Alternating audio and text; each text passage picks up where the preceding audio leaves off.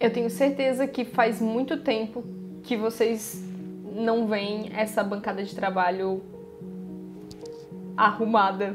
Mas não se enganem, hein? Eu arrumo essa bancada exatamente desse jeito aqui todos os dias de manhã. Mas daí eu começo a desenvolver os eletroblocos, fazer as montagens e no final do dia o negócio tá uma bagunça. Mas eu arrumo todo dia, gente. Até porque se eu não arrumasse ela todos os dias, não teria como iniciar um novo dia de trabalho de tanta coisa que fica em cima dessa bancada. Olá, sejam todos muito bem-vindos ao meu laboratório. E no vídeo de hoje a gente não vai fazer um review sobre a organização do meu laboratório. Na verdade, a gente vai fazer um review das placas de circuito impresso que chegaram recentemente para mim. Faz muito tempo que eu venho falando para vocês, gente, sabe aquele, aquela montoeira de projetos que nós desenvolvemos durante o ano inteiro? Pois é, eu fiz uma encomenda lá na PCBWay para que essas placas venham logo, que a gente tenha elas nas nossas mãos, que a gente possa montar elas e verificar se realmente os projetos deram certo e esse tipo de coisa. Finalmente essas placas chegaram e é um compromisso que eu vou fazer com vocês de não demorar mais tanto assim para fazer o pedido dos projetos.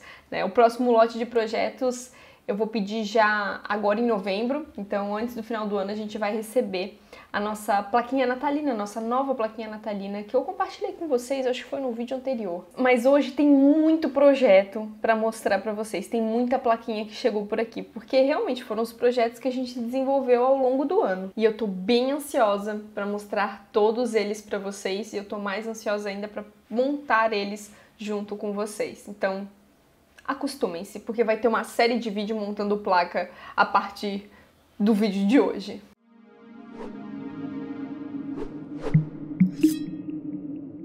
O vídeo de hoje é patrocinado pela PCBWay. A PCBWay é uma fábrica que produz placas de circuito impresso com um ótimo custo-benefício.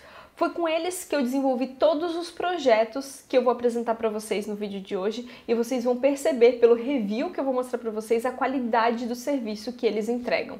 Sempre tem promoções para novos lotes protótipos e eles fazem diversos concursos também, para que tu possa tirar os teus projetinhos da protoboard e transformar eles em placas de circuito impresso. E se tu tem interesse em evoluir os teus projetos ou começar a desenvolver com a PCBWay, eu tô deixando o link deles aqui na descrição do vídeo para que tu possa conferir o serviço deles e tirar os teus projetos da Protoboard construindo placas de circuito impresso maravilhosas, assim como os projetos que eu vou apresentar para vocês hoje aqui. Essas são as nossas novas placas. Tô bastante ansiosa para montar elas, gente. Não tenho nem como explicar para vocês o quanto eu quero saber se todos esses projetos estão funcionando ou não. Mas vamos lá, vou separar elas aqui e eu quero mostrar elas uma de cada vez, né?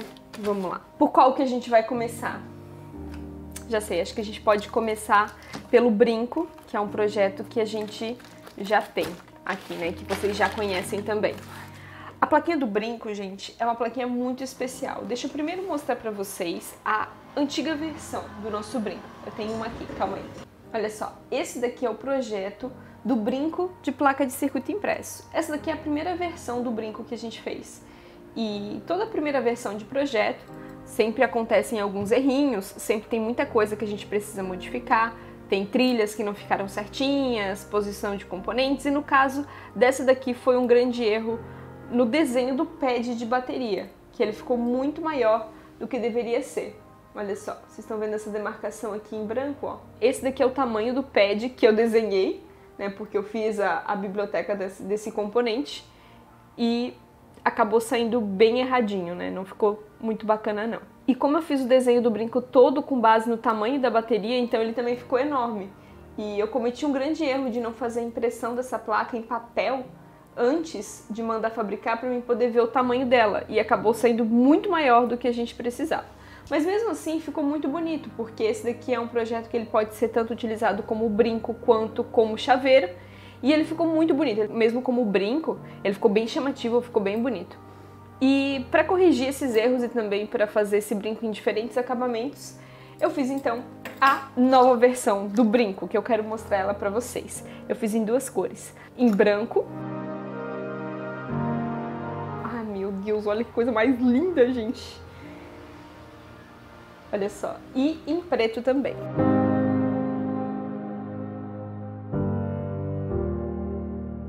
Esse projeto ele é muito especial. Eu acho que ele foi a primeira placa de circuito impresso que a gente fez em conjunto e ao vivo na Twitch.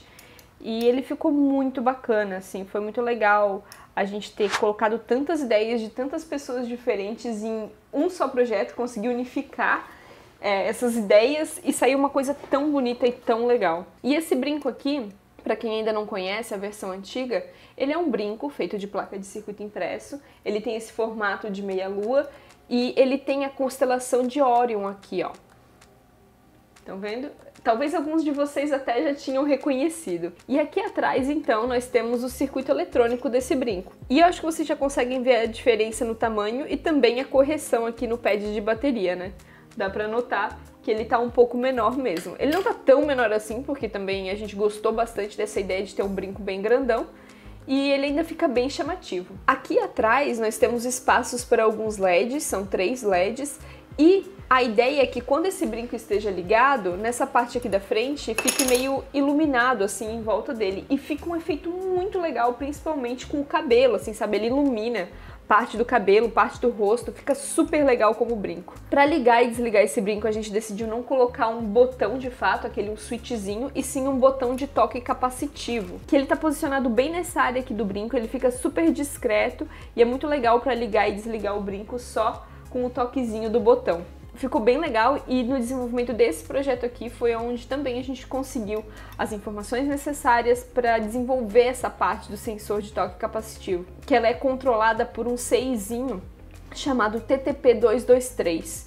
Então esse seizinho ele faz esse trabalho e a gente fez o desenho correto para ele funcionar. Esse é um projeto muito especial, eu gostei muito desses efeitos aqui do preto e do branco, eu acho que vai ficar super estiloso, principalmente utilizar cada um, né? Tipo, uma orelha um branco, uma orelha um preto. Eu acho que vai ficar super legal. Eu tô bem ansiosa para montar ele junto com vocês e ver ele funcionando. Vamos para o nosso próximo projeto. Eu quero mostrar para vocês o projeto natalino do Grinch.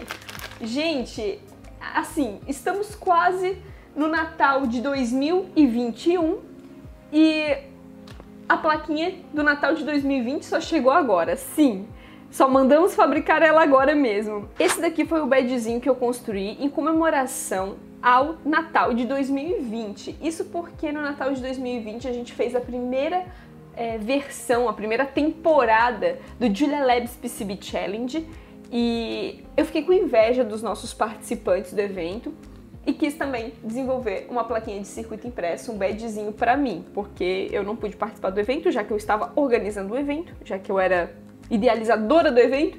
Então eu decidi que eu mesma ia fazer o meu badzinho para poder aproveitar esse momento junto com vocês. E a ideia desse badzinho foi utilizar né, a carinha do Grinch para transformar ela numa placa de circuito impresso. Nessa parte aqui dos olhinhos, ela, a ideia é que ela brilhe, assim como nessa parte do gorro e nessa partezinha aqui do, do frufruzinho do gorro também. Então aqui atrás nós temos espaço para duas baterias e diversos LEDs que ficam envoltos aqui nessa parte do desenho. Eu espero muito que funcione. É, nessa placa aqui foi a primeira vez que eu desenvolvi essa, esse efeito da placa ficarem apenas na fibra. De verdade eu não sei se isso vai funcionar perfeitamente ainda, mas a gente vai descobrir em conjunto. Inclusive a gente vai poder descobrir se esse projeto realmente está funcionando ou não. Porque nenhum desses projetos que eu mostrei aqui para vocês eu já montei. É, a gente fez apenas o o desenvolvimento deles e vai que algum deles não funciona, né? Sempre tem algum ajuste ou outro para ser feito nas plaquinhas, mas eu espero que ele funcione bem também.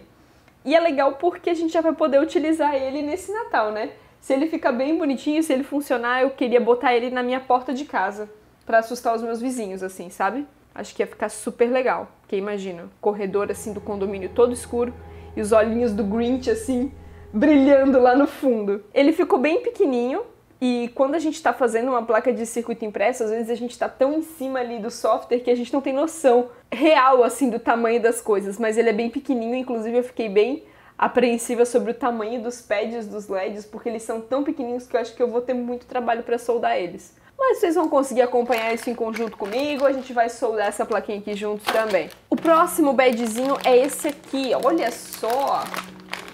Esse daqui eu fiz um vídeo, mostrei pra vocês como que eu desenvolvi ele e as ideias desse bad. Ele é um badzinho com a carinha da Twitch. A gente decidiu utilizar também esse mesmo efeito aqui de deixar a placa apenas na fibra, nesses dois olhinhos da Twitch. aqui atrás então nós temos o circuito eletrônico com todos os LEDs e também nós temos essa ideia do sensor de toque capacitivo. Ah, eu até esqueci de falar. Na plaquinha do Grinch eu não coloquei nenhum botão. Então sempre que ele estiver energizado, ele vai estar tá brilhando. Poderíamos ter colocado um botãozinho, né? Talvez aqui assim, pra gente poder economizar um pouquinho de bateria, mas fazer o quê? naquele momento a gente não teve essa ideia. Mas essa plaquinha aqui da Twitch, ela unifica os dois conhecimentos que a gente viu nos outros projetos, né? Do sensor de toque capacitivo, que fica bem aqui na pontinha, e também dessa parte de deixar a placa apenas na fibra para ver se essa partezinha aqui vai iluminar. Se isso daqui funcionar, vai ficar super bonitinho. Mas eu já mostrei essas, essas plaquinhas aqui pro pessoal lá nas lives. Vocês sabem que lá nas lives o pessoal acompanha em real time as coisas que acontecem aqui. Então é claro que no dia que, que as placas chegaram eu tive que mostrar para todo mundo.